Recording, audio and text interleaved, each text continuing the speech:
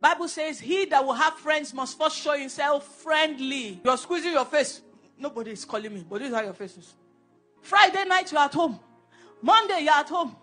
Tuesday, you're at home. Instead of you to be smiling, be shining your teeth anywhere you are. When your friends are hanging out, say, I'm coming. When your colleagues are going to work, say, maybe that's where my husband will be. Let me dress up and join them. Show yourself friendly, and then you will have friends. All of you will be carrying natural hair about. Who, who natural hair help? Okay. Better, better wear your wig. I'm mean, like this. And be flipping it. Go and spend that money on hair. Spend, draw your brows. Buy lip gloss. Look good. Natural hair is not selling market. When you marry, you off your wig eh, because you have entered. There's nothing they can do about it.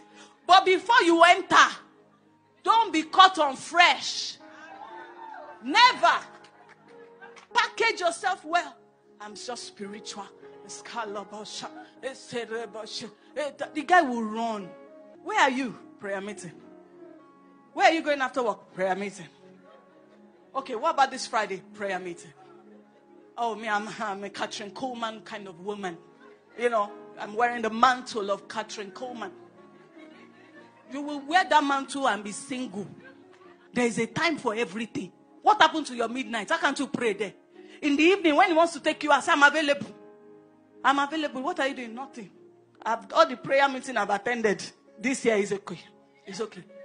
Call Sister Yvonne. Tell her, excuse me, you know, we are single. You know, you, you are your husband's house.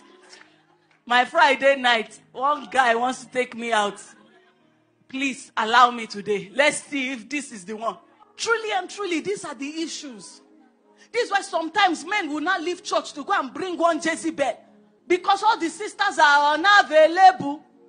Always busy in prayer meeting, in fasting, in prayer.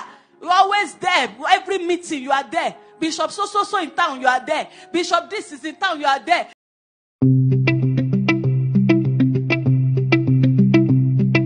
I know you've watched the video that I played earlier on, and it's very fantastic. I respect everything the woman said, the female preacher said. Everything she said is her own opinion and her own mindset about if you're a lady and you're single, things you have to do so that you can be attracted to the brothers in church. So no brother can go outside to go and bring Jezebel into the, the church. I respect that. I'm also here to share my opinion and this opinion that I'm going to share is something that is very knowledgeable and is principle. Because in this world that we live in, you have to let principle guide you. If you don't live by principles, you may live anyhow that you may think is good. But you may see that this life you are living is not all that interesting. But if you ask a black man or our colleagues that how are you making money? You say now God. Now we have so many principles in this world if you really want to do anything. So I'm going to give you principles. If you're a lady, pay very good attentively to what I'm about to say because it's going to really help you. And the woman has also said based on her what experience or based on what she thinks. But this is a principle that I'm going to give you. The first thing, if you're a lady and you really need a guy to be in your life, all you have to do is just to have a good character. Character is very important in relationship if you don't have a good character, my sister, it's not going to help you. Make sure that you are very respectful and very humble. Because guys of these days need women now who are very respectful and women who are very humble. They hate women who talk one, talk two, talk three, women who don't listen to things, women who think they are alpha women. All they have to do is just to pour out their opinions and all those things, not listening to what the guy is saying. Men are egoistic oriented beings. If you intrude into a man's ego, the man is going to disrespect you for life. So if you're a lady and you really need a guy in your life so that it can end up into marriage, all you have to do is just to have a very good character. Humble yourself and be submissive to the guy so that the guy can see that potential so that you can get a ring on your finger. The second one is companionship. You have to be friends in a relationship. Maybe if you are dating, let's take it that you just have sex for one hour for illustration's sake, and that one hour is due, that 23 hours, what are you going to do with your partner? You have to be friends.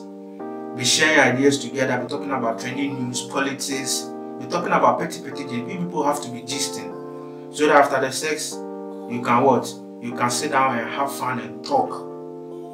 Especially if the guy is interested in football, if you're a lady, because you really want to be with a man, the man should be very happy around you learn the football matches, maybe learn maybe corner kick, free kick, and all those things, so that the man will be interested. That's why a lot of men, when English Premier League or all the leagues are playing, the man will just leave the house and leave you because the man have seen that you are not interested in what he wants. All you want is turning novellas and Nigeria movies and all those things. I'm not saying it's bad, but you have to build the interest of the man so that the man will to be with you at home and enjoy the football matches with you so that the man cannot go outside. The last one that I really want to talk about is religion.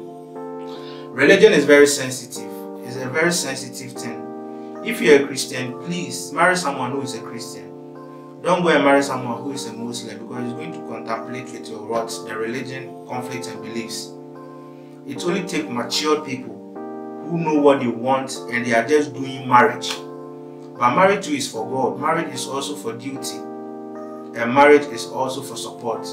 So you have to marry someone who are, you are sharing the same faith with. If you're a Muslim also, please marry someone who is a, a Muslim. If you're a traditionalist, marry someone who's a traditionalist, a Buddhism, Akhenaten, all those people.